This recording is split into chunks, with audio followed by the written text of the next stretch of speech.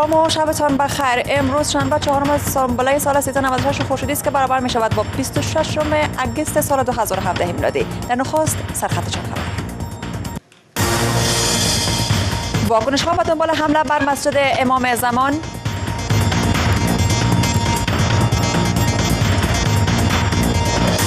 مادر جان من. دوستم رفت مادرش از مادر خود خبر نداره. مادرش از زیر خاک دفن کرده هشدار مکمستر و گروه های حراس افغان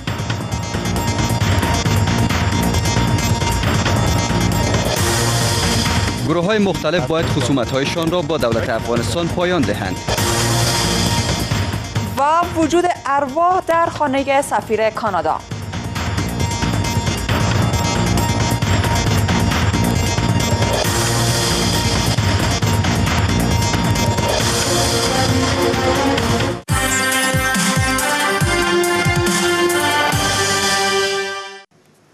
مشروع خبرها. در میان قربانیان رویداد حمله بر مسجد امام زمان زنان و کودکان نیز شاملند. یکی از این قربانیان مادری است که شش فرزند دارد. کوچکترین فرزند این بانو نه سال دارد. در سوگی از دست دادن همسرش نشسته است. اشک میریزد و گریه می کند همسر این مرد همراه با دخترش برای ادای نماز جمعه به مسجد امام زمان رفته بودند جایی که هدف شلیک مهاجمان قرار گرفتند.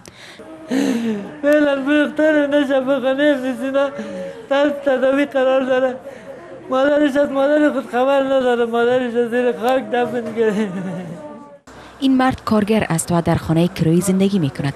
اون نگران سرپرستی چهار دختر و یک پسرش است. بستگان این زن می گوید که زمانی که از حمله آگاه شدن هر قدر تلاش کردند تا برای نجات آنان به داخل مسجد بروند. مادر جان من دوستم رفت پشت تکه خانه آمده من کار کردیم میاز قرار اردو پلیس هر کدامش گفتیم. زاری کردیم که یعنی بان ما داخل بریم اجازه ندادن. خودشان هم نمی‌رفتن. تا ای کنه کلشان از بین برد. شکیب نه ساله کوچکترین فرزند این خانواده است. او باور نمی کند که مادرش دیگر در این دنیا نیست و از اعضای خانوادهش مادرش را می خواهد ما مادر ما می خواهیم در پولی شو در پولی کی خواه کنم؟ فقر و بیکاری سبب شده که پسر بزرگ این خانواده به بیرون از افغانستان برود. هنوز معلوم نیست که او در کجا به می‌برد. اوضاع امنیتی افغانستان زمان تغییر می‌کنه که در رأس نیروهای امنیتی افراد کارکشته متخصص و مسلکی و وطن دوست و ملی جاگزین شود. در اینجا مراسم خاکسپاری و نماز جنازه قربانیان رویداد برپا است. قرار است پس از ادای نماز جنازه اینها را در اینجا دفن کند. تا هنوز شمار دقیق قربانیان رویداد معلوم نیست. اما شاهدان عینی و بستگان قربانیان می‌گویند که در حدود بیشتر از چهل تن در رویداد حمله بر مسجد امام زمان کشته شدند و در حدود 100 تن دیگر هم زخمی شدهاند. لیدان نیازی آریانا نیست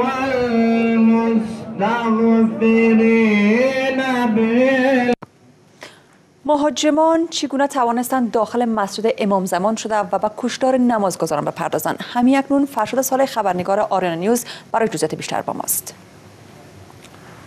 سلام شب شما بخیر. گونی که می‌دانین دو مهاجمه که مسلح بودند با سلاح سابق و واسکت های انتحاری نخست ورود می‌کنند به مسجد امام زمان در خیرخانه کابل. سپس هم مواد انفجاری خود را منفجر می سازند و یک به یک بارکی بر نمازگزارانی که در درون مسجد از گلوله می کنند سپس هم که در همین طبقه دوم مسجد بر زنان و کودکان جا برای ادای نماز است هم رفتن و به گونی بیرحمانه بر آنچه زنان و کودکان بودند گلوله باری کردند و حتی برخی از گواهان رویداد می‌گویند که برخی از زنان نیز از تیغ داعشیان کشیده شدند. راشی بگد ما در نفر در زیر زینه بودیم اینجا که رسید گفتی بیا ناموسا کلش هم اینجا جمع است. یه عسکری صدا کرد دو دانه طفل هم همراه ما بود. گفتی ها طفل نزن. همین که لباسی نظامی داشت. یه دیگه اش که آمدم یه دیگه پشت گپ نگشتم. کلشینکوف و ضربت سر ده نفر دیگه نمیتر چغیل کرد دیگه. که چغیل کرد زیر آتش و خاک گم شدیم. یک هفت نفری ما اونجا شهید شد که من زیر چهار نفر شهید بودم. هر گوشی از مسجد امروز بوی دود، بارود و پارچه های بدن انسان می‌داد. گواهانی که دیروز این رویداد را از نزدیک دیدن بسیاران را وحشتناک و حتی وحشیانه می‌دانند. فریاد می‌کرد که نزن نزن می‌زنی که تفنگ ده چرا گردن می‌بری. اگه تو این تار می‌کنی ما هم فدایی داریم. اگه تو این فجار می‌کنی ما هم جان فدا داریم. مگر نکنی تحمل ما را صبر ما را شما ما صبر زینبی داریم. و آنچه به تصویر می‌بینین آگاهان و بسیاری از نهادهای حکومتی آخرین آمار رویداد روز پسین را این گونه فشرده می‌کنند. 28 نفر شهید است که شامل دو پلیس قطعات خاص وزارت داخل است و دو پلیس امنی و تعداد مجروعین 50 نفر. پیشتر از این مقام های حکومتی و بسیاری ها در افغانستان گفتند که گروه های شورشی از این پسر در پی ایجاد تفرقه قومی در افغانستانند. بیشتر خبرها با پریسا ابراهیمی. تشکر. همکارم فرشاد صالح خبرنگار آریانوز با ما بودند و در مورد حمله دیروز بر مسجد امام زمان آخرین اطلاعات را تقدیم شما کردند و حالا هم ادامه خبرها. حمله بر مکانهای مقدس و کشتار مردم بیگناه با دین هیچ ربطی ندارد و حراسفگنان در تلاش خشکانیدن ریشه های اسلام هستند. شماری از عالمان دین با ابراز این مطلب می‌گویند که مردم افغانستان قربانی جنگ مذهبی نه بل قربانی جنگ های استخباراتی هستند و باید جلو این سناریوی خطرناک گرفته شود. گزارش از همکارم رفیع صدیقی ببینید. بیشتر قربانیان ناامنی ها و حمله های راسافگنی در افغانستان غیر نظامیان هستند. غیر نظامیانی که بدون هیچ گناه برگبار بسته می شوند با این حال معاون شورای علمای کابل می گوید که کشتار مردم هیچ توجیه ندارد و اسلام سخت مخالف این جنایت ها است. رب العالمین مهربانی می‌کنه هر کسی که یک نفس معصومه بدون حق ناحق خون بریزانه از بین ببره. گویا که تمام بشریت از بین برد. گویا که خون تمام بشریت ریختان به زمین.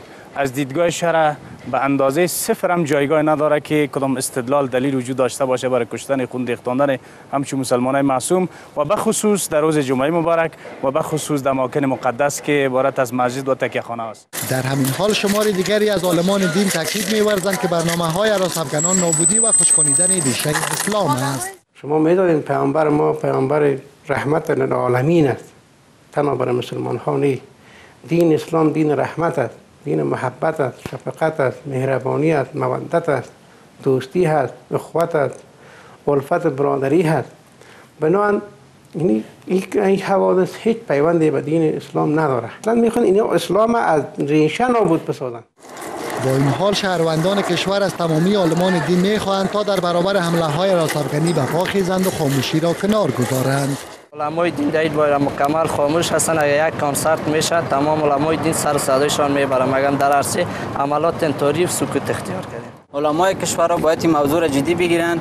این کشتن مسلمانان تفرق انداختن بین مسلمانان این واقعا بین مسلمانان یک جدایی را ایجاد می‌کنه عالمان دین تاکید میورزند که دین اسلام دین محبت و برادری است و اجگاه کشتار مردم بیگناه با ویژه مسلمانان را اسلام جواز ندانسته.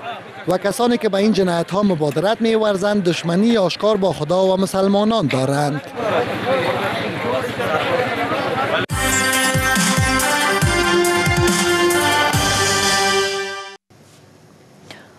مشاور امنیت ملی امریکا می‌گوید جنگ نکردن در برابر دشمن تجاوزگر گزینه خوب نیست. مکمستر می‌گوید در گفتگو برای مخالفان دولت افغانستان در صورت دست برداشتن از خشونت و پذیرفتن قانون اساسی باز است. اما اگر آنها خشونت بار عمل کنند کنارگیری از جنگ گزینه خوب نیست. این مقام ارشد کاخ سفید برنده شدن در افغانستان را نبود گروه های حراسفگن می‌داند. فهیم نوری بیشتر جزئیات می‌دهد.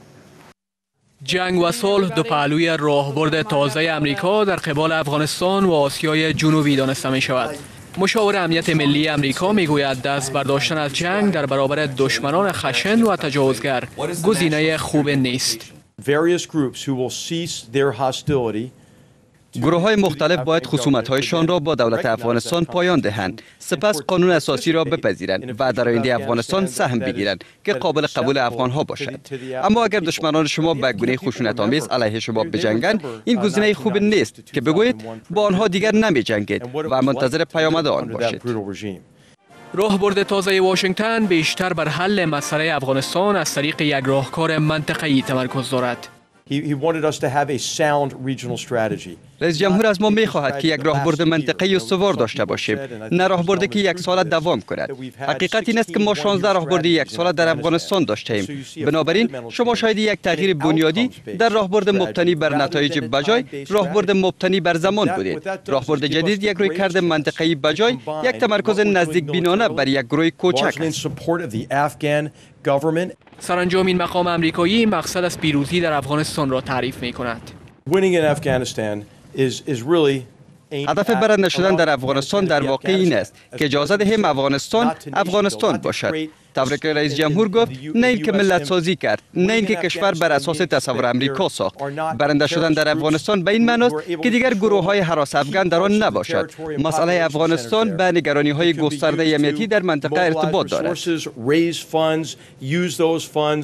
این در حال است که حمایت امریکا در چارچوب راهبرد تازه مشروط به عملکرد دولت افغانستان در بخش آوردن اصلاحات و داشتن اراده برای پیشرفت در افغانستان شده است.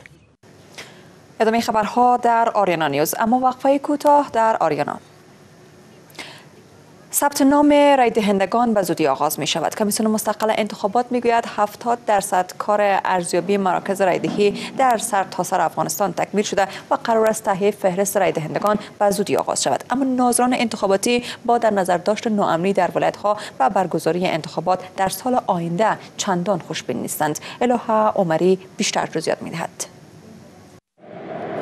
آغاز نامنویسی رای دهندگان انتخابات اما نگرانی از وضعیت ناامنی در برخی ولایت ها کمیسیون انتخابات می‌گوید تا کنون 6000 مرکز رایدهی ارزیابی شده و صرف شماره از ولسوالی های ناامن تا کنون از این روند باقی مانده است. کار را بگوییم در حدود 70 فیصد کار ارزیابی مراکز رایدهی به پیش رفته و باقی کار هم جریان داره و حس همکاری هم از طرف نیروهای حکومتی و همچنان مردم خیلی خوب بودن سر ترتیب لیست رایدهنده ها کار جریان به خیر شروع می شد. از سوی هم کمیسیون انتخابات از عدم مداخله در روند انتخابات خوشبین است.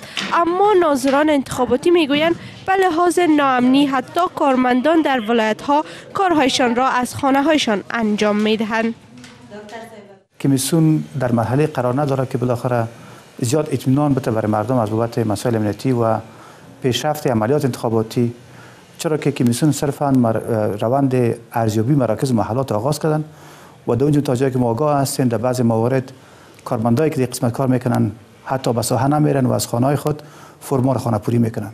این در حال است که کمیسیون مستقل انتخابات استفاده از فناوری را در بهتر شدن روند کاریشان موثر می‌دانند.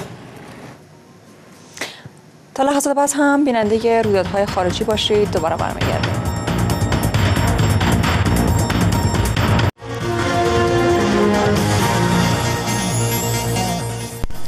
دوباره خوش آمدید و حال هم توجه کنیم به چند خبر کوتاه از جهان. طوفان هاروی با بادهای به سرعت 215 کیلومتر در ساعت به ایالت تگزاس امریکا رسیده و مناطق ساحلی ایالت را در هم کوبیده است. این طوفان تندبادهای شدیدتر نیز همراه دارد. و برآورد می شود که تا نزدیک به یک متر باران ببارد. طوفان هاروی شدیدترین طوفان است که امریکا در 12 سال گذشته با آن روبرو می شود. فرماندار تگزاس درباره سیلاب بی سابقه در برخی مناطق هشدار داده و گفته است تگزاس با یک فاجعه خیلی بزرگ روبرو است. کوین ویکرس سفیر کانادا در ایرلند در مورد وجود ارواح در خانهش ابراز نگرانی کرده است. آقای ویکرس بخصوص در مورد روحی که احتمالا مقر رسمی سفیر را تسخیر کرده نگران است و اخیرا در فیسبوکش از صداهای غیر معمول مثل نفس کشیدن و قدمهای سنگین در سالن‌های خانهش نوشته است. سفیر کانادا در ایرلند که به تاریخ علاقمند است گفته که این صداها احتمالا متعلق بر روح یکی از رهبران شورش پاک باشد که در سال 1916 اتفاق افتاد. گزارش ها از تایلند حاکی از آن است که ینگلاک شناوت نخست وزیر سابق تایلند به دبی گریخته است. دیوان عالی تایلند پس از آن که نخست وزیر پیشین این کشور در جلسه دادگاه حاضر نشد حکم جلب بازداشت او صادر کرد. وکلای خانم شناوت گفتند دلیل غیبت او بیماری بوده است. خانم شناد با اتهام سهل‌انگاری مجرمانه در ارتباط با دادن یارانه به کشاورزان روبرو بود که مجازاتش حد اکثر ده سال حبس است. او در صورت محکومیت برای همیشه از حضور در عرصه سیاسی تایلند منع خواهد شد. وقفه کوتاه در ادامه هم بیننده یک رویداد اقتصادی باشید.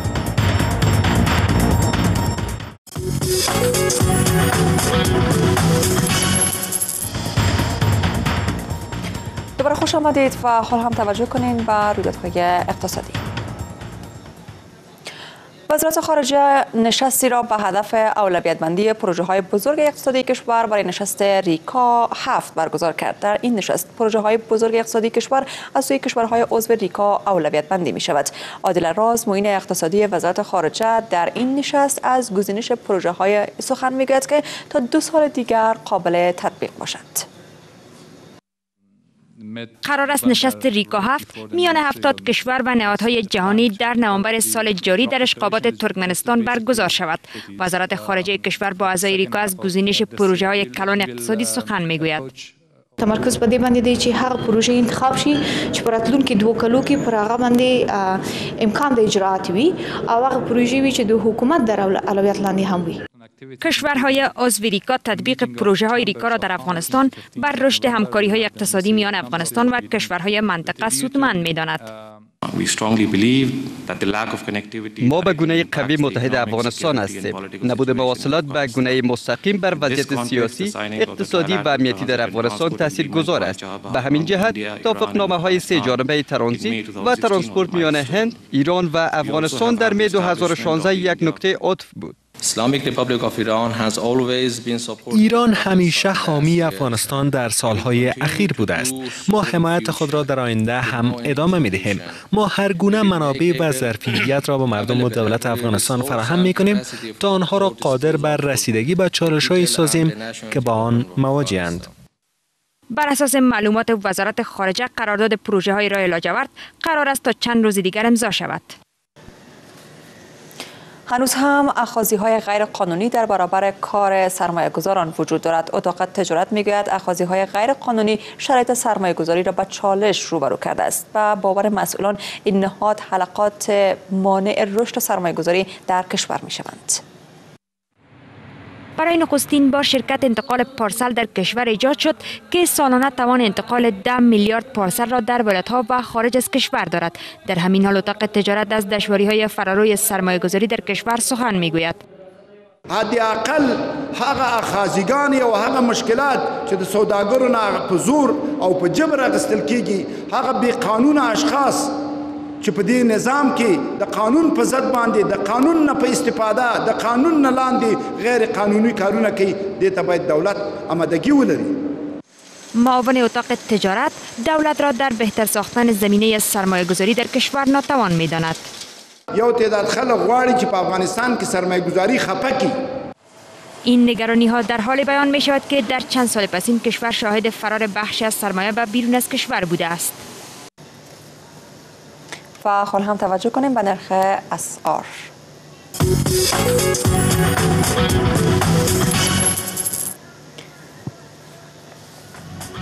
یک دلار آمریکایی 68 افغانی و 35 پول یک یورو 80 افغانی و 50 پول یک درهم امارات 18 افغانی و 50 پول.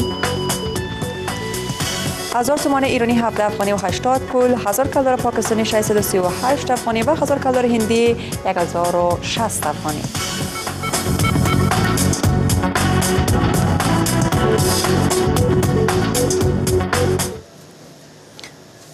مهمترین های رویدادهای ورزشی را همکار محمد زبیر حبیب زاده تقدیم شما می‌کنه زبیر خوش آمدید. تشکر. سلام خدمت تمامی بیننده ها چند خبر ورزشی تا لحظات دیگر. و اکنون وضعیت هوا.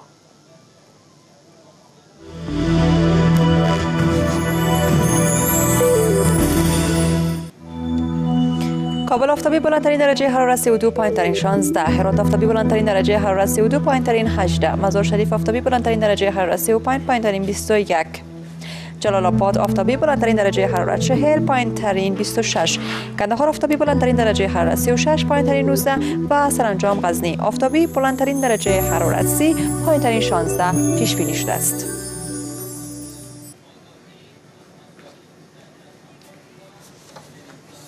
پایان خبرها از آریانا.